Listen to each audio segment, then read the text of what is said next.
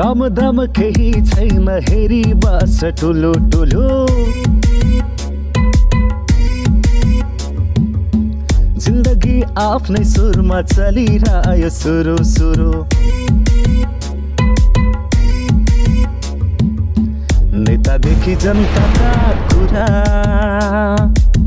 हाकिमदेखि पिहुनका कुरा।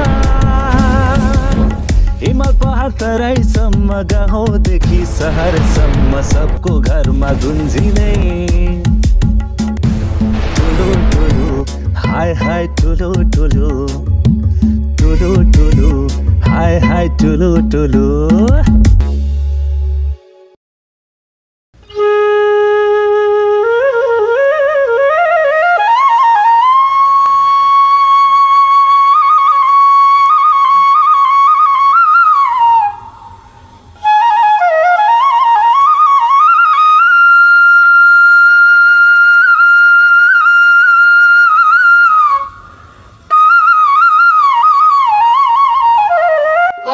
कन्टे त पढ्ला भनेर होस्टेल राखेको त्यहाँबाट पनि भागेर आएछ है त।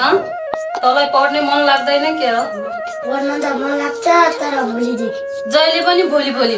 पहिला त भोलिदेखि पढ्छु भन्ने बानी छोड त। हुन्छ भोलि भोलिदेखि पढ्छु भन्ने बानी भोलिदेखि छुट्छु फेरि भोलिदेखि भन्छ। आजैदेखि भन्। हुन्छ मम्मी आजदेखि छोडिदिए।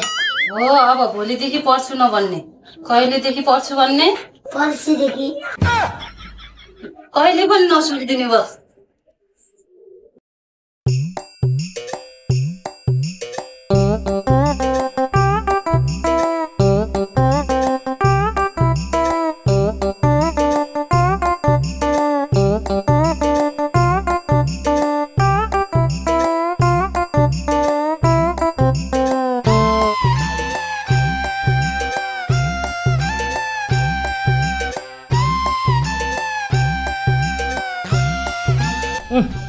ल लखर लखरका धावा पनि। तल गाउँतिर परिवार निधन गर्ने सिभिल हारैछ निशुल्क रहेछ।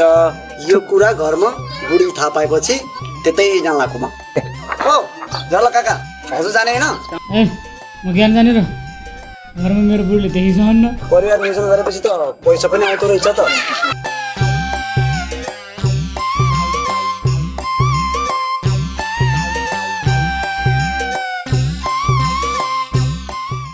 कागतिलो खानेकुराको लागि पैसा दिँदो रहेछ त। ए हो। परिवार निधन गरेर पैसा आउँछ? ल काका जाने बे आउनुहोस् म त हिँडेँ त।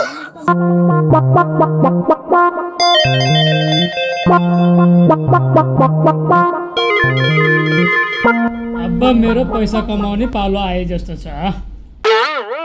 कसरी कमाउने होला? ए अब आइडिया आयो।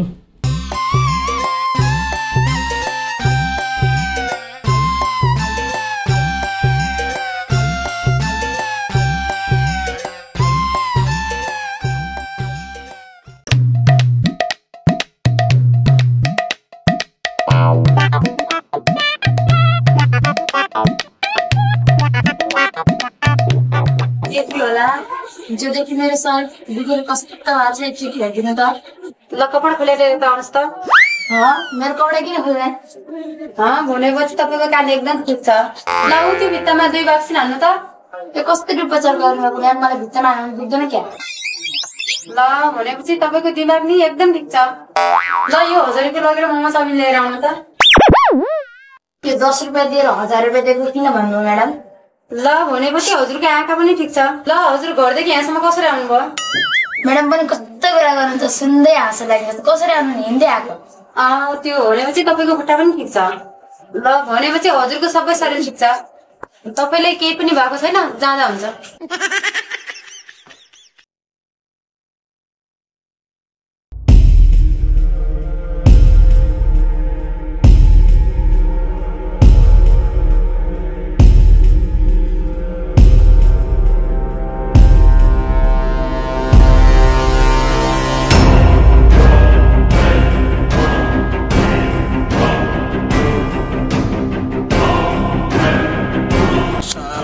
कुन कुलोमा लुकेछन्? सबै गाउँ खोजिसकेँ मैले।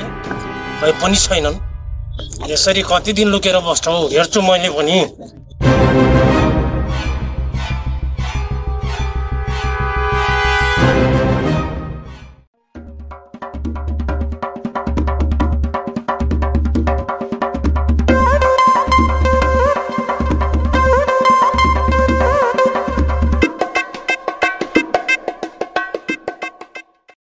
डाक्टर साहब मेरो बुवाको पनि उपचार गरिदिनु पर्यो।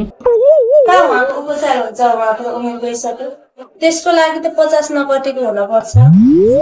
ए डाक्टर साहब त्यसो भए बुवालाई घर छोडेर काकालाई लिएर आउँछु। पक्कै काका पचास वर्षको पुग्नु भयो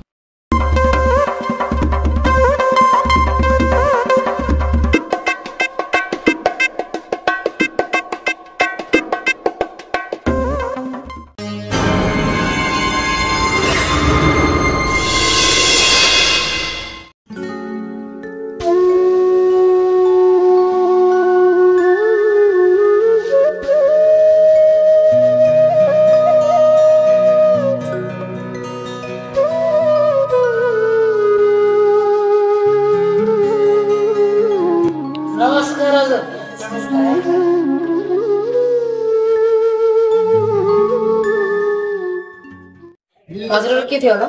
हिजो यिनले जाँड खाएर सिक्री हराएछन् खोजिदिनु पर्यो म्याडम। सिक्री हराउने गरी जाँड किन खाएको त उधारो दिन्छन् कि भनेर? सधैँ सिक्री लगाएर हिँड्थे? आज त्यस्तो हुन्छ भन्ने कुरो थाहै भएन। चुप लाग्नुहोस् तपाईँ।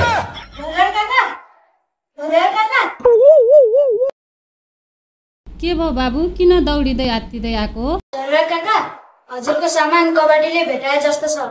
त्यो मेरो सामान कबाडीले भेट्टा छ अरे। त्यो सामान चाहिँ जसरी हुन्छ खोजिदिनु पऱ्यो म्याडम। कहाँ बस्छ त्यो गवाडी? बस्नु त हाम्रै गाउँमा बस्छ तर एक दुई दिन भयो देखिया छैन। अहिले ल तपाईँहरू जानुहोस् मलाई पछि खोजेर हामी तपाईँलाई खबर गर्छौँ। नमस्ते हजुर।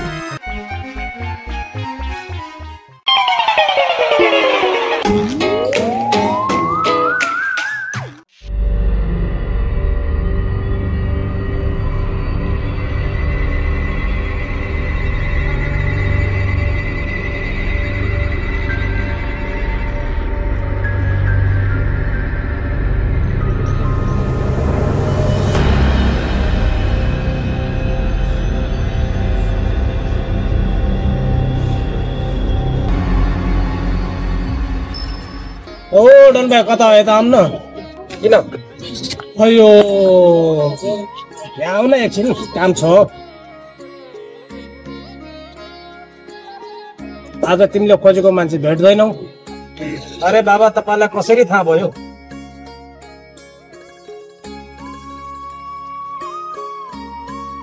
एउटा राम्रो मान्छे भन्न खोज यो दुनियाँमा राम्रो मान्छेको बहुत खोजी हुन्छ। बल्ल बल्ल पाएको जिन्दगी धन बनेर लुक्दै भाग्दै अरूलाई दुःख दिएर के फाइदा?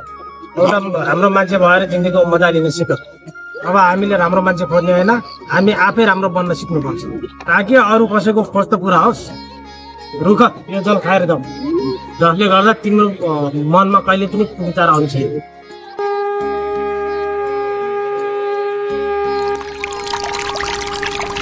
अयो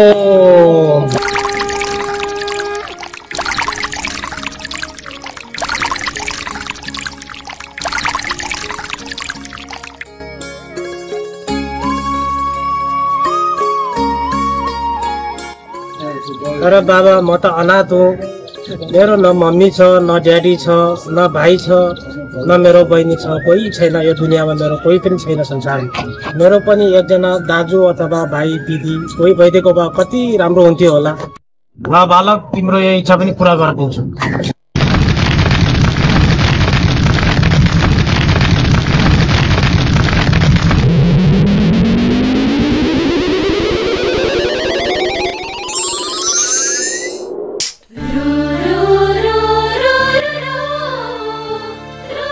आजदेखि तिमीहरू दाजुभाइ